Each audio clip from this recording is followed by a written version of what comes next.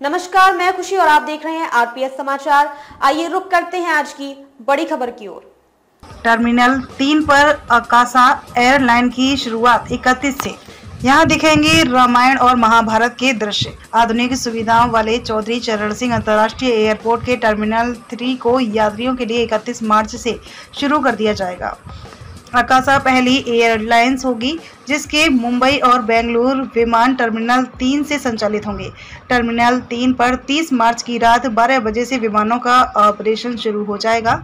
प्रधानमंत्री नरेंद्र मोदी ने video conferencing से 10 मार्च को ही टर्मिनल तीन का लोकार्पण करने के साथ आजमगढ़ सहित पाँच शहरों के लिए विमान सेवाओं की शुरुआत की थी। टर्मिनल तीन को चौबीस सौ करोड़ रुपए की लागत से बनाया गया है। वर्तमान में टर्मिनल तीन से प्रति वर्ष 80 लाख यात्री अपनी यात्रा करेंगे। दूसरे चरण के अंत में यह क्षमता बढ़कर प्रति वर्ष एक दशमलव तीन करोड़ यात्री हो जाएगी। लखनऊ एयरपोर्ट के प्रवक्ता ने बताया कि सबसे पहले आकाशा एयरलाइंस अपनी मुंबई सहित सभी उड़ानों को टर्मिनल तीन से प्रारंभ कर रही है।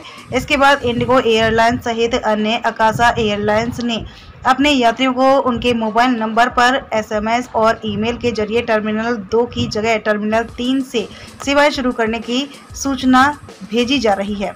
आकाशा एयरलाइंस टर्मिनल तीन पर यात्रियों का मार्गदर्शन करने के लिए अपने ग्राहक सेवा प्रतिनिधियों को तैनात करेगा। साथ ही यात्रियों को जानकारी देने के लिए साइनेज भी लगाए जाएँगे।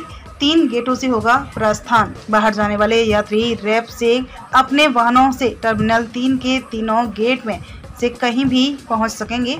एयरपोर्ट पर बहत्तर चेक इन काउंटर बनाए गए हैं। इसमें सत्रह self baggage drop check in counter भी शामिल है। टर्मिनल तीन पर एक प्रार्थना कक्ष भी है। यात्रियों के बैठने के लिए आधुनिक लाउंज बनाया गया है। यात्री बोर्डिंग गेटों की संख्या तेरह और यात्री बोर्डिंग पुलों की संख्या सात है। विमान कंपनियाँ भी टर्मिनल तीन से अपनी सेवाएँ देंगी। यात्रियों की सुविधा के लिए डिजी यात्रा की सुविधा भी इस टर्मिनल पर है। व्यस्त समय में एक ही समय पर बत्तीस सौ घरेलू और 800 इंटरनेशनल विमान के यात्री यहाँ से यात्रा कर सकेंगे।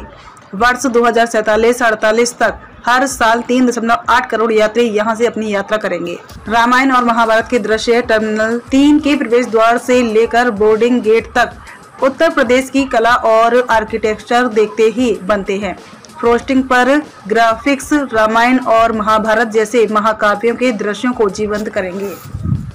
खबरों में अब तक के लिए बस इतना ही। फिर होगी आपसे मुलाकात, ऐसी ही एक और बड़ी खबर के साथ। तब तक के लिए नमस्कार और देखते रहिए आरपीएस समाचार। ऐसे ही लेटेस्ट अपडेट्स के लिए हमारे चैनल आरपीएस समाचार को सब्सक्राइब करें और तुरंत नोटिफिकेशन पाने के लिए बेल आइकन प्रेस करना ना भूलें। अगर आपको हमारी खबर पसंद आई हो तो इसे ज़्यादा से ज़्यादा लोगों तक ज़रूर पहुंचाएँ।